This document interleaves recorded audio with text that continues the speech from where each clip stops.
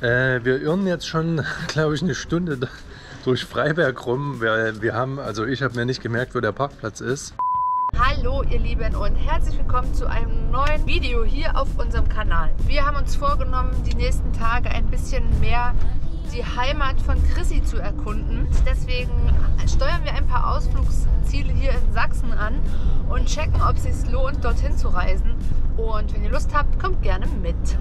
Wir sind insgesamt knapp 800 Kilometer durch Sachsen gereist und haben die Heimat einmal ganz genau unter die Lupe genommen. Es ging entlang der sächsischen Silberstraße bis tief ins sagenumwobene Erzgebirge, durch eine der schönsten Städte ganz Deutschlands, die Landeshauptstadt Dresden, bis ganz in den Osten des Freistaats ins Elbsandsteingebirge und die Lausitz. Das Finale unserer Tour haben wir im Raum Leipzig verbracht. Den ersten Teil gibt's heute und los geht's. Wir sind in Meißen und jetzt gucken wir uns das Porzellanmuseum an. Bestimmt cool.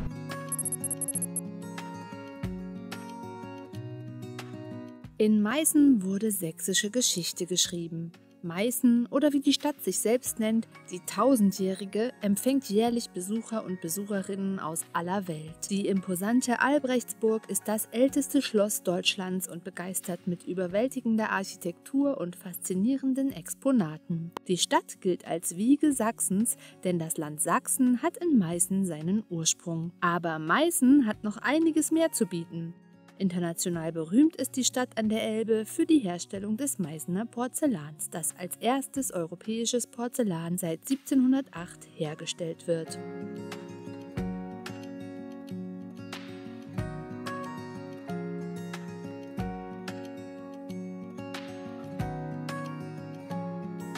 Das Museum der Meißen Porzellanstiftung zeigt Werke aus 300 Jahren Manufakturgeschichte. Exponate aus allen Epochen illustrieren das Schaffen der ältesten Porzellanmanufaktur Europas. Das geschichtsträchtige Signet der Porzellanmanufaktur Meißen, die blauen gekreuzten Schwerter, steht weltweit für die Echtheit und Qualität des Meißner Porzellans. Das erste Markenzeichen Europas wurde 2022 300 Jahre alt.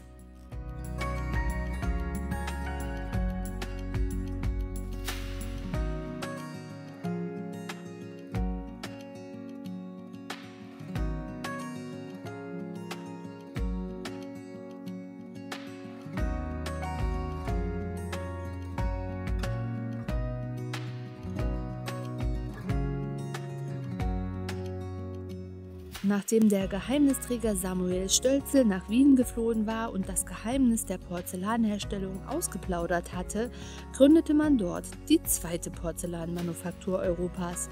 Zunächst kopierte man alles, was aus Meißen kam. Deshalb schlug der damalige Inspektor der Manufaktur Johann Melchior Steinbrück im November 1722 vor, die gekreuzten Schwerter des kursächsischen Wappens zur Kennzeichnung der originalen Meißner Porzellane zu verwenden.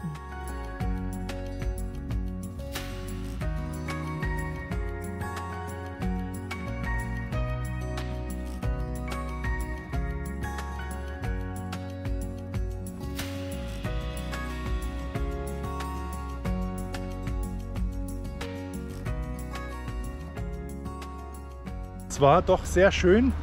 Ähm, extrem viele Exponate, der Wahnsinn. Und ich will nicht wissen, äh, wie viel die so wert sind. Vor allen Dingen auch extrem detailliert bearbeitet. Also richtig cool, hat sich auf jeden Fall gelohnt. Weißt du, wer das Porzellan erfunden hat? Nee, wer denn? Das. Aha. Mensch, das ist ja interessant. Na Mama, kleine Bildungslücke. Ähm, Wie war eure Zeit? Was macht Hedi? Hedi hat äh, zwei Knabberstangen vertilgt Schön, und dann ein bisschen was von ihrer Leine. schön. Und ich habe die Zeit genutzt und ein bisschen gearbeitet, was Schön. auch sehr gut geklappt hat. Gut, dann geht's jetzt weiter.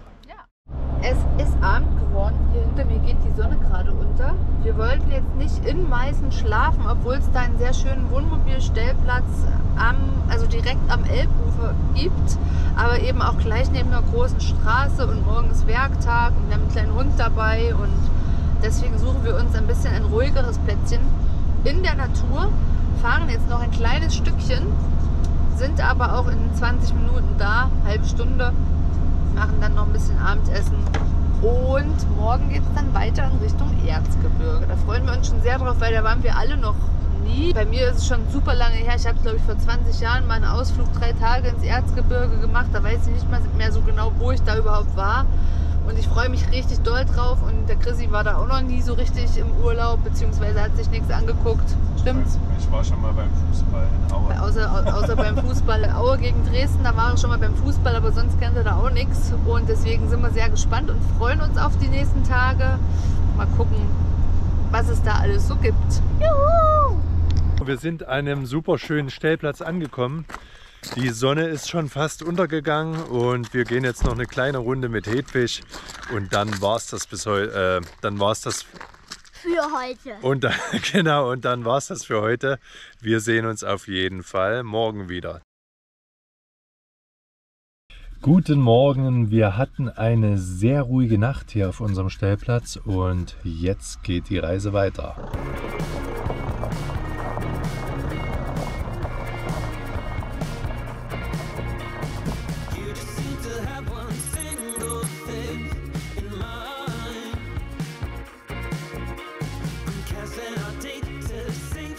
So, Parkschein ist gelöst. Wir sind mitten in Freiberg und jetzt geht's ab in die Altstadt. Wir freuen uns.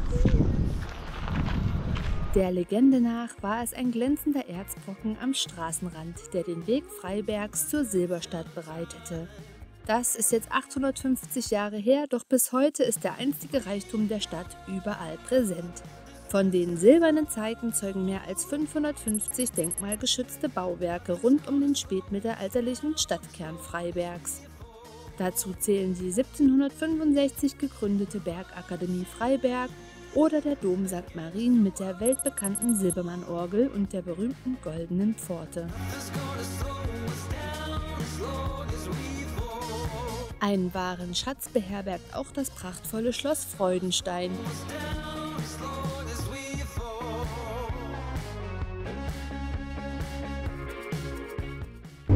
Ich sind jetzt im Mineralienmuseum. Oh, hier geht's ja rein. Und wir sind schon übelst gespannt drauf. Erstmal Fahrstuhl fahren jetzt.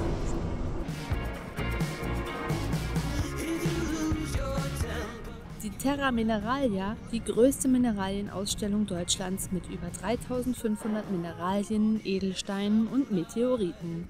Und wer noch tiefer eintauchen möchte in die Bergbautradition der Stadt, der wagt sich 150 Meter unter Tage bei einem Besuch des traditionsreichen Freiberger Silberbergwerks.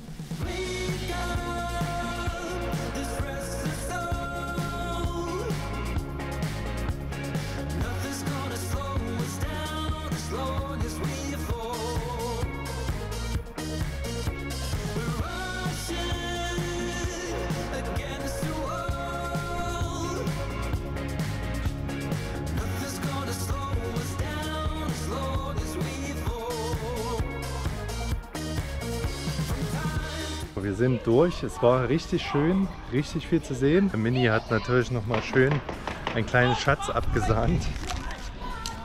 Ja, und jetzt geht's zurück zum Bus.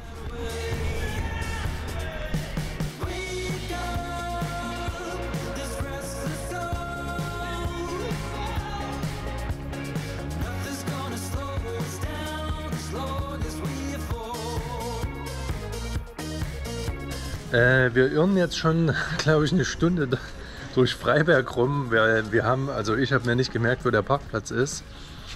Und ähm, ja, mal schauen, ob wir heute noch Erfolg haben. Kannst du noch? Ja. Geht so, ne?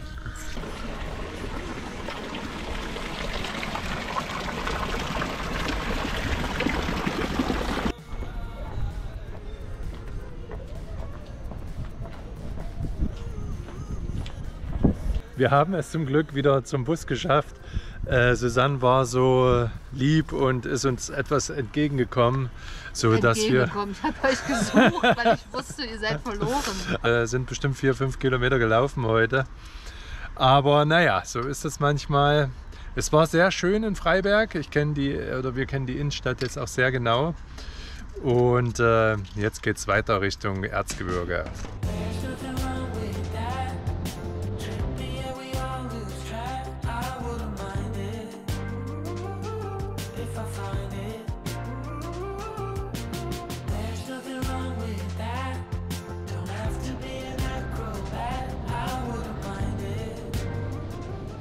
Susanne, wo sind wir? Greifensteine. Okay, freust du dich? Ja. Wir gehen jetzt eine kleine Wanderung und dann schauen wir mal, wie die Greifensteine so aussehen.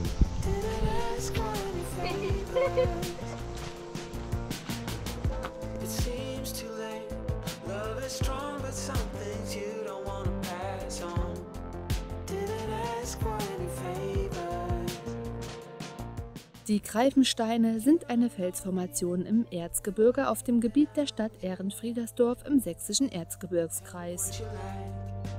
Der höchste der sieben Granitfelsen erreicht eine Höhe von 731 Metern über Null. Weitere sechs Felsen wurden durch Steinbrucharbeiten Anfang des 20. Jahrhunderts bereits abgetragen.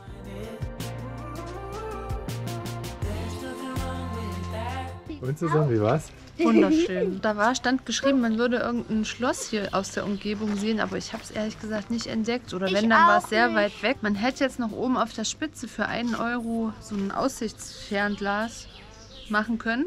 Oder zweimal 50 Cent. Ich hatte aber nur noch einmal 50 Cent und ein 2-Euro-Stück. Also Schade. konnten wir leider nicht gucken. Genau, auch hier für den Eintritt braucht man ein Euro-Stück oder 50 Cent Stücken. Für einen Euro darf man mal hoch. Alles klar. So, jetzt laufen wir noch zu der Höhle da, ja? Ja, Kleine ist die? Wanderung noch. Da lang. Okay. Oh, Durch die kulissenartige, ringförmige Formation der Felsen werden diese seit etwa 1953 in den Sommermonaten als Naturtheater Greifensteine für Freilicht- und Kulturveranstaltungen in Anspruch genommen.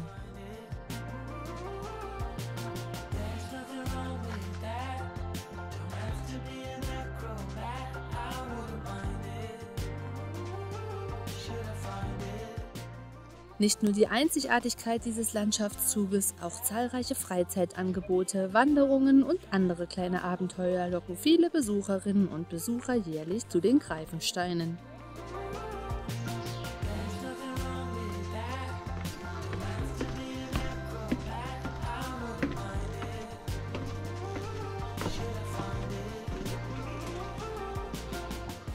Wie war's?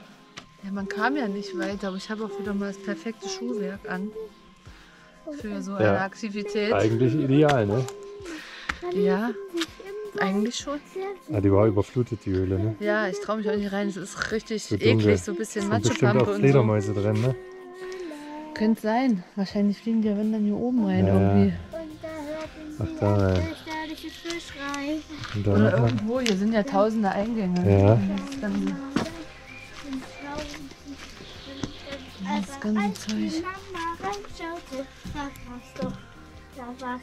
Nur der hier sitzt der Holzmichel drin.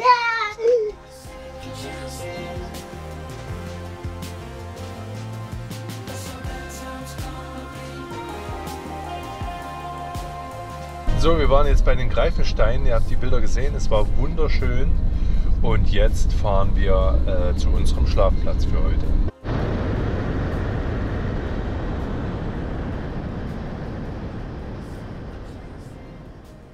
Guten Morgen von unserem Stellplatz. Wir sind gestern Abend noch ein kleines Stück gefahren auf einen Wanderparkplatz.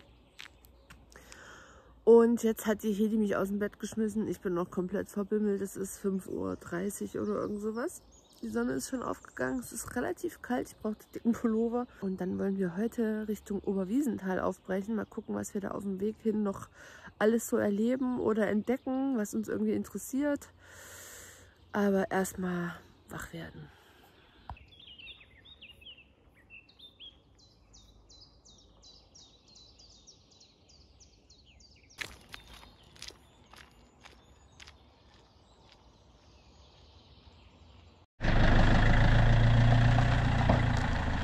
Wir haben Frühstück gemacht und sind jetzt einigermaßen fit.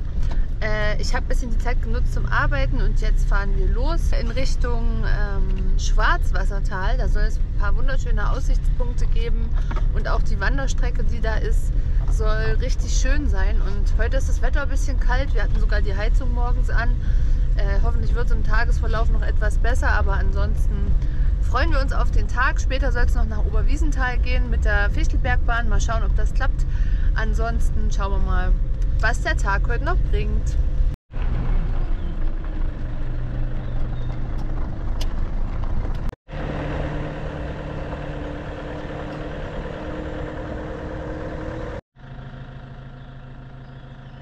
Ja, und das ist jetzt hier der Eingang zum Reicher Silbertroststollen.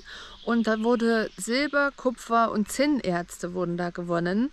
Und hier ist aber äh, 1769 ein schweres Grubenunglück passiert. Es wurde ein Feuer gesetzt, was dazu geführt hat, dass Gase unvollständig verbrannt sind. Die waren giftig und als äh, den Ort einer begutachten wollte, wurde der bewusstlos. Fünf weitere Bergleute sind auf dem Weg, den zu retten, auch bewusstlos geworden. Und erst nach mehreren Tagen, als der Grubenraum so richtig ausgelüftet war, konnten die sechs toten Bergleute dann geborgen werden.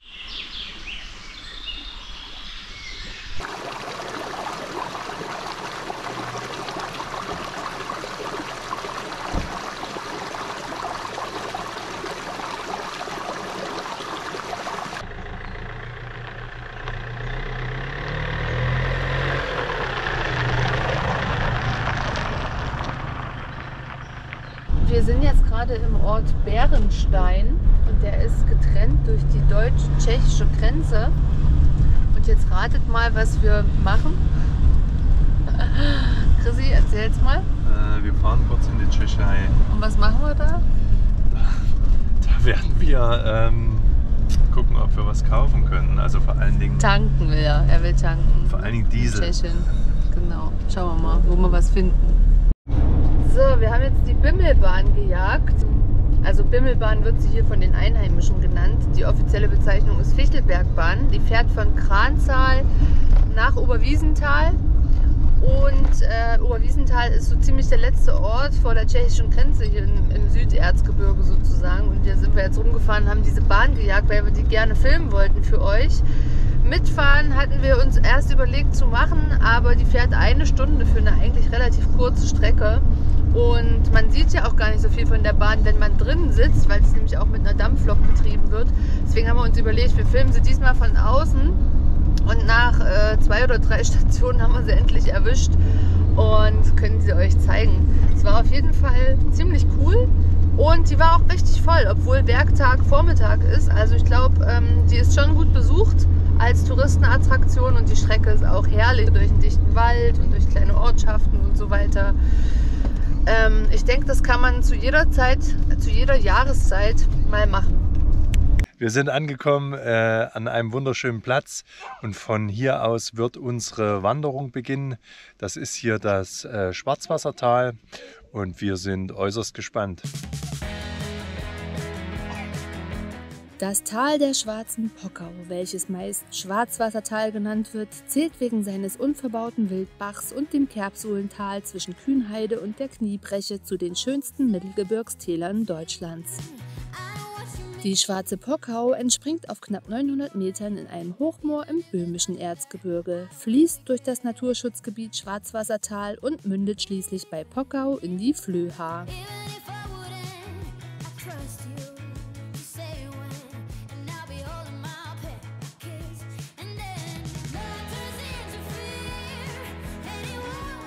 Besonders eindrucksvoll sind die Felsformationen im Naturschutzgebiet entlang des Schwarzwassertal-Wanderwegs.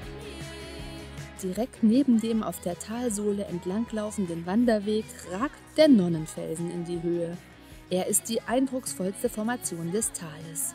Die 60 Meter hohe Felswand ist auch bei Kletterern sehr beliebt.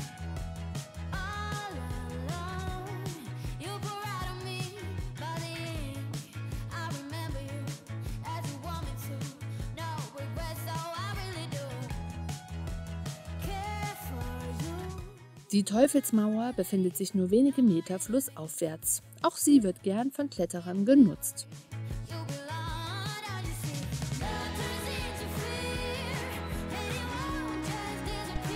Also hier im Erzgebirge kann man ja überall sehr gut wandern. Es ist wunderschöne Natur, Flüsse, Berge. Ihr hört es im Hintergrund vielleicht rauschen. Und hier gibt es ein paar echt richtig, richtig schöne Stellen. Zum Beispiel hier direkt vor mir die Teufelsmauer und den Nonnenfelsen zeige ich euch. Das ist einfach traumhaft schön. Aber schaut euch doch nochmal hier hinter mir dieses coole Felsmassiv an. Echt wunder, wunderschön.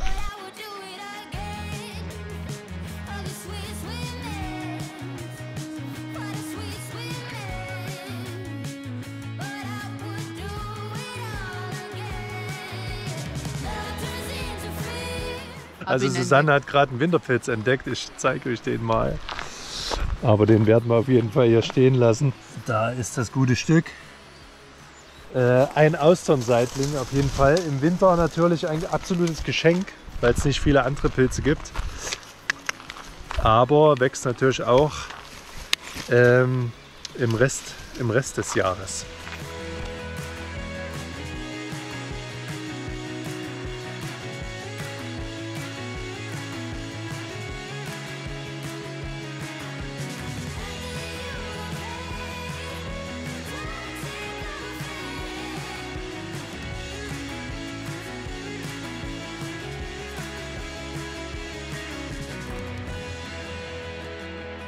So, jetzt sind wir auf dem Katzenstein angekommen. Das war eigentlich das Ziel unserer Wanderung. Und es war eine richtig schöne Runde. Es wird so ungefähr fünf bis sechs Kilometer gewesen sein. Nicht so anstrengend. Und äh, der Weg unten an der Schwarzen Pockau war richtig, war wunderschön. Ihr habt die Bilder gesehen. Also wirklich sehr, sehr empfehlenswert.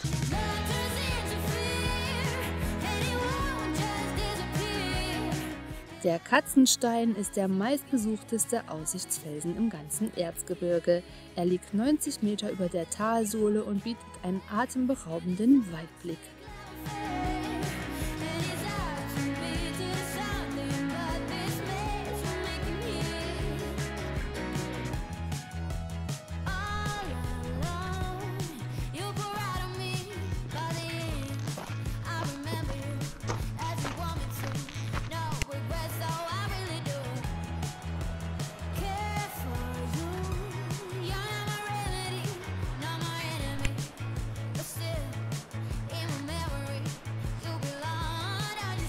So, die Wanderung hat das erste Opfer gefordert.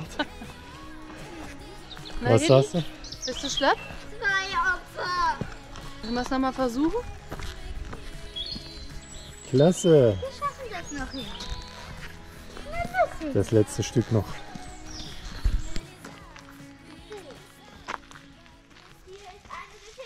Guten Morgen hier vom Katzenstein. Wir hatten eine wirklich sehr ruhige Nacht. Unsere Fahrt geht jetzt weiter. Wir fahren jetzt zur Talsperre Eibenstock hier im Erzgebirge.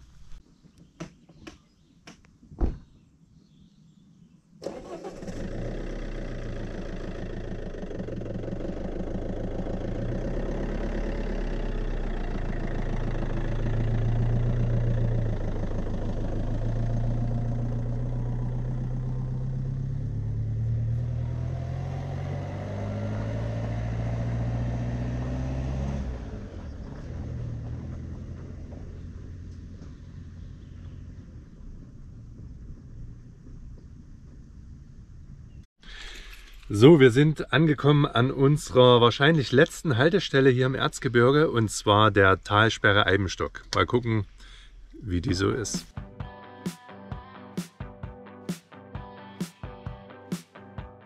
Durch die vielen Talsperren und Stauseen des Erzgebirges haben sich in der Landschaft ganze Wasserreiche entwickelt, eingebettet in die Natur der Region. Über eine Million Menschen werden mit dem Wasser der erzgebirgischen Speicherseen versorgt. Nicht zuletzt deshalb gibt es im Erzgebirgskreis die meisten Stauseen in Sachsen. Die Talsperre Eibenstock steckt aus sächsischer Sicht voller Superlative. Sie ist die größte Talsperre im Freistaat und der Stausee hat das größte Fassungsvermögen aller sächsischen Talsperren. Erbaut wurde sie zwischen 1974 und 1987. Sie diente Industrie- und Trinkwasserversorgung in den Großräumen Chemnitz und Zwickau sowie der Energieerzeugung. Baden und Wassersport sind hier leider nicht erlaubt, aber Angelfreunde kommen auf ihre Kosten. Zudem wird die Talsperre vom europäischen Fernwanderweg E3 passiert. So, das war die Talsperre, war sehr schön. Leider hat das Wetter nicht so hundertprozentig mitgespielt. Es äh, nieselt ein bisschen. Susanne schmiert uns jetzt noch Schnitten für die Heimfahrt. Ich welche. Schnitten. Und ähm, Wie sagt ihr? Schreibt es mal in die Kommentare. Schnitte, Stulle, Bämme. Bei uns, da wo ich herkomme, sagt man auch Bämme. Eine schöne, eine schöne Käsebämme. Ihr könnt ja mal sagen, äh, was ihr zu einem belegten Brot sagt. Ansonsten hoffen wir, euch hat äh, das Erzgebirge und Südsachsen gut gefallen. Schaltet beim nächsten Mal wieder ein, dann fahren wir nämlich nach Ostsachsen, gucken uns Dresden und das Elbsandsteingebirge ein, äh, an. Äh, vergesst nicht, unseren Kanal zu abonnieren, wenn es euch bei uns gefallen hat. Und dann äh, bis zum nächsten Mal. Tschüss. Tschüss.